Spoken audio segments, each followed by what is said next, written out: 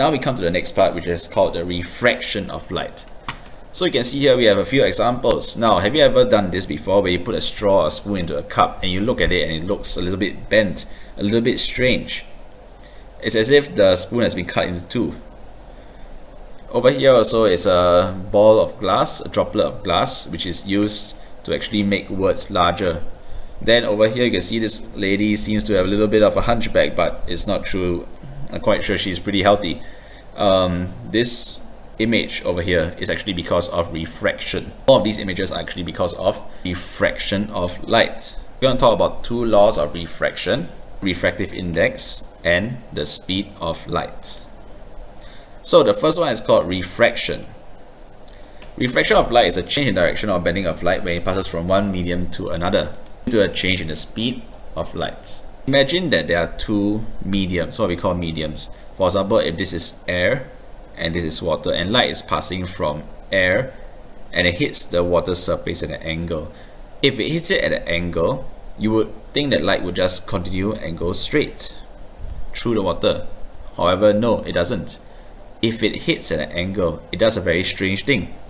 It actually bends and it bends towards the normal.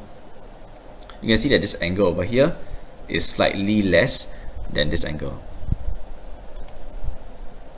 So let's talk about terms related to refraction. The first one is called optical medium. An optical medium is a transparent material which light can pass through. Then we have an optically less dense medium, where the particles in the medium are further away from each other and the speed of light is faster. So if they are optically less dense, the speed of light will be faster. You will learn later that this will produce a larger angle. Now the optically denser medium would be where the particles in the medium are nearer to each other and the speed of light is slower. This would mean a smaller angle as you will learn later. So when light travels from air into glass or water, its speed would decrease. When its speed decreases, it undergoes a very weird thing where it would bend towards the normal as you can see over here. A medium is said to be optically denser if it slows down the speed of light. So, when light passes from an optically less dense medium to an optically denser medium, it would bend towards the normal. You can see here that um, air, air is optically less dense and this angle over here is larger. Glass is optically more dense and therefore the angle over here will be smaller. However, when light passes from an optically denser medium to a less dense medium, it would bend away from the normal. So if it was coming from glass, if the light was coming from glass, this angle over here would be smaller. But once it hits the boundary, this light will actually bend away from the normal, creating a bigger angle over here. One exception is that if a light ray enters a medium that is perpendicular to the boundary, 90 degrees to the boundary, it does not bend. So you can see over here, if light rays shine right down and at 90 degrees to the boundary, it will just poop, it will just go straight through and the light is undeviated. This would be when the angle of incidence is zero. If the angle of incidence is zero, the angle of refraction is also zero. If it hits over here and this is the part where it's perfectly at 90 degrees to this part of the glass, it will just go straight through without refracting. So now let's do some practices. Please pause the video at this point and these exercises. Okay, now we are going on to revealing the answers. So over here will be quite simple. Okay, the angle of incidence would be this angle over here and the angle of refraction would be this angle over here. So angle of incidence will be 40 degrees, angle of refraction should be 20 degrees. I hope all of you got that. So now let's go on to the bit that's a bit more difficult. Now, for question B, did you identify the incidence and the refracted angle correctly. Let's take a look. Angle of incidence should actually be the angle from the incident um, light ray to the normal. Did any of you pick 35? Haha, then you would be wrong. Now this part over here, did any of pick 60? If you pick 60, you would also be wrong because the angle of refraction is actually this angle over here.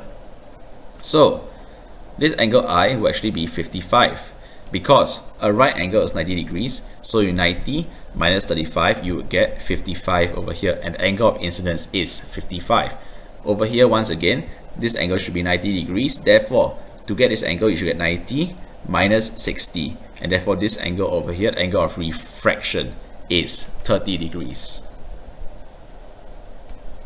So let's go to the final one. This one over here if you did not draw a normal line you would probably have gotten it wrong. So the first thing you should do is draw a normal line. And then indicate the angle of incidence and the angle of refraction.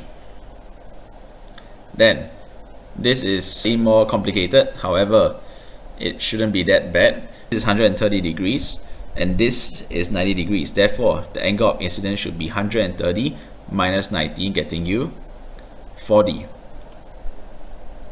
and this one over here is 110 degrees but this, this part over here is 90 degrees. Therefore to get this corner over here it should be 110 minus 90 getting you 20 degrees.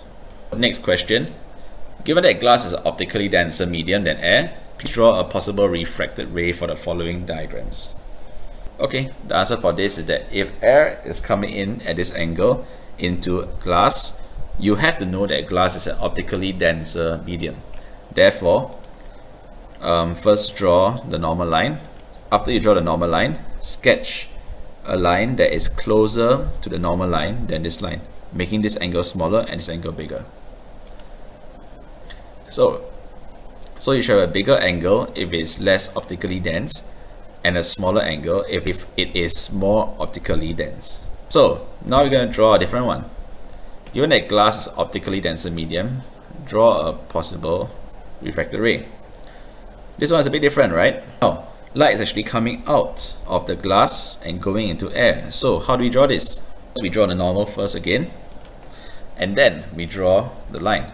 Now, you can see that I've once again made the angle in the glass smaller and the angle in the air bigger. The law still remains.